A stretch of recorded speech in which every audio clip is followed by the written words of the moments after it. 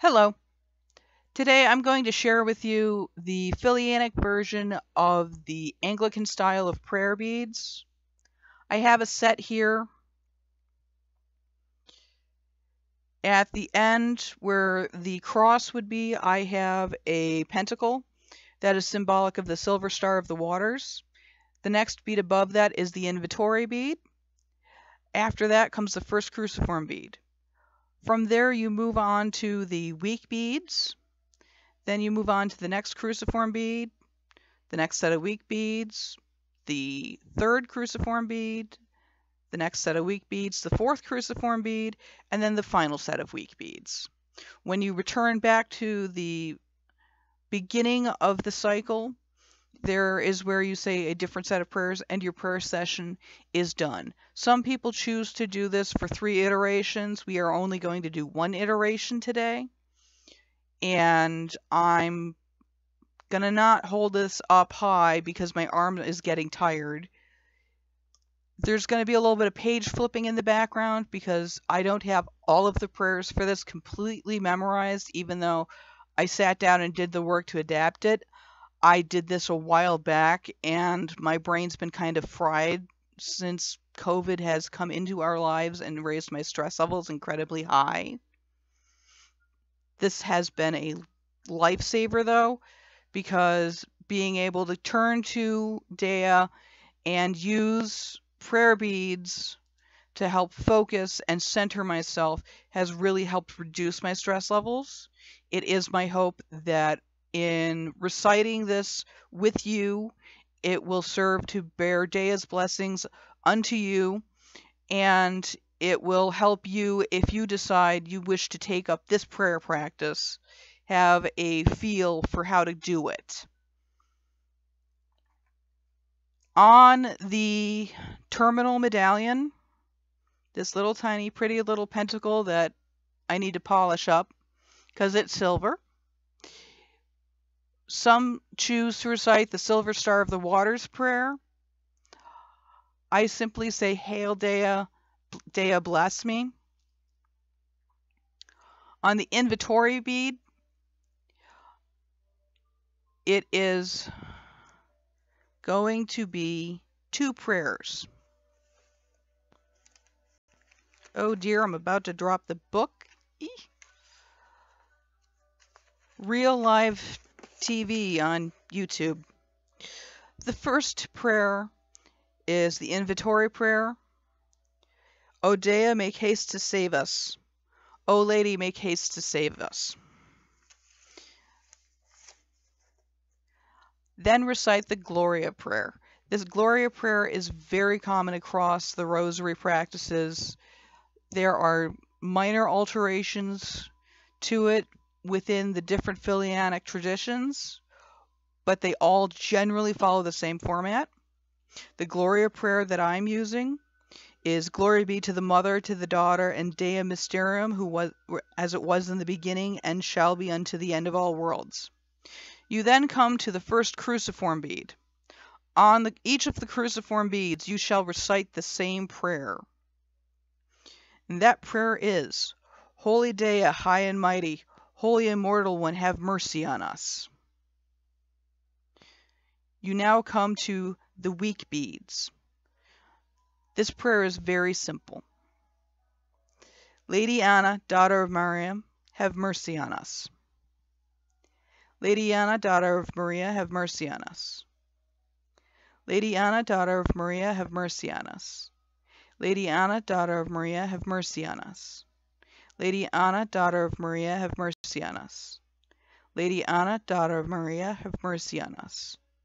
Lady Anna, daughter of Maria, have mercy on us. Now, when you get to the next cruciform bead, you have a choice. You can choose to insert the Gloria prayer, or you can move to the next cruciform prayer. We are going to move straight to the next cruciform prayer. That is, Holy Dea, high and mighty, Holy Immortal One, have mercy on us. Then we go back to the week's prayer. Lady Anna, daughter of Maria, have mercy on us. Lady Anna, daughter of Maria, have mercy on us. Lady Anna, daughter of Maria, have mercy on us. Lady Anna, daughter of Maria, have mercy on us. Lady Anna, daughter of Maria, have mercy on us. Lady Anna, daughter of Maria, have mercy on us. Lady Anna, daughter of Maria, have mercy on us. Cruciform bead. Holy Dea, high and mighty, holy immortal one, have mercy on us. Week bead. Lady Anna, daughter of Maria, have mercy on us. Lady Anna, daughter of Maria, have mercy on us. Lady Anna, daughter of Maria, have mercy on us. Lady Anna, daughter of Maria, have mercy on us. Lady Anna, daughter of Maria, have mercy on us. Lady Anna, daughter of Maria, have mercy on us. Lady Anna, daughter of Maria, have mercy on us. Cruciform bead. Holy Dea, high and mighty, holy immortal one, have mercy on us. Week beads. Lady Anna, daughter of Maria, have mercy on us. Lady Anna, daughter of Maria, have mercy on us. Lady Anna, daughter of Maria, have mercy on us. Lady Anna, daughter of Maria, have mercy on us. Lady Anna, daughter of Maria, have mercy on us. Lady Anna, daughter of Maria, have mercy on us. Lady Anna, daughter of Maria, have mercy on us. Now we have come back to the first cruciform bead.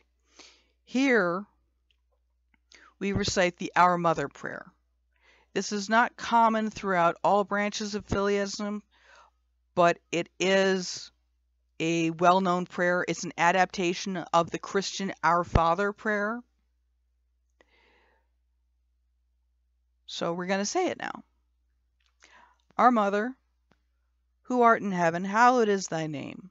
Thy realm come, thy will be done, on earth as it is in heaven. Give us this day our daily bread, and forgive us our errors, as we forgive they who err against us. Lead us not into temptation, but deliver us from evil. Finally, we come to the terminus, which is the final prayer of the session, which is, Let us bless the Lady, thanks be to Dea.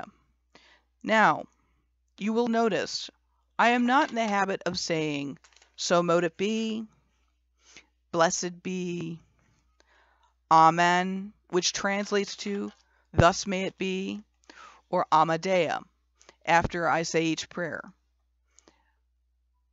This is a bit of a stumbling block on my part because I was raised in a household that didn't pray the fact that I've gotten this far in my prayer life and I don't have thus may it be or something similar attached at the end of the prayers is something I'm working towards. You may see this as I proceed forward in my prayer life that I share with you here on YouTube and on my blogs. This would be added at the end of each prayer if you chose to do so, or you can add it at the end of your entire prayer session. Some people choose to do one cycle, which we just did. Some people choose to do three cycles. There are meditations associated with each of the week beads. Um, because there are seven beads, you can, for each bead, Focus on each of the greater Janyati, or the greater angels. And as you are praying, ask for their blessing.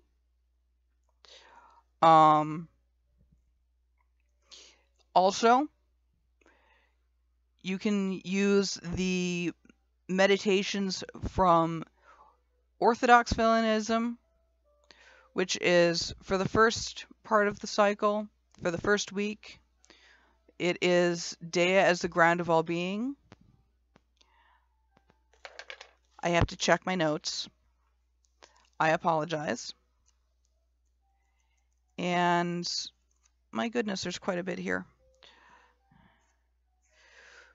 All right. Let's see. Week one, which I just mentioned. The mother is the ground of all being. This is identical to the mystery of the Orthodox Rosary first decade. Week two is the birth of the daughter. Again, this is identical to the Orthodox Rosary. This is the Winter Rosary Mystery. Week three is the resurrection of the daughter. In meditating upon the resurrection of the daughter, we skip the meditation upon the death of the daughter. But this can be incorporated into that particular meditation for those beads and just the entire story of the resur- the death and resurrection of Anna. Week 4 is the union of the soul with Dea. You can also use these beads to focus strictly on Anna. And in doing so, you would meditate for your first part of the cycle upon the need of her presence and her birth. The second part of the cycle is her acts as princess of the world. The third part of the cycle is her acts as the sacrificial high priestess of the faith. The final weeks of the cycle is her as queen of heaven. This is a very well structured set of prayers for focusing upon Our Lady. Um, next week, I will have a little bit long, okay, it might be more than just a little bit longer video where I look at the Catholic style of rosary beads and I will do my best to try and get through that with you. Um, future content is going to be also including some heathenry related prayers. This is because I practice both Filianism and heathenry at the same time. It's weird, but I can explain it. it's just not on today's topic. Maybe in next week's topic. We'll see. In the meantime, I hope that this helps. And I hope that you find peace and blessings in your prayer sessions and that they may be a comfort to you during the difficult times we are living. Dea bless.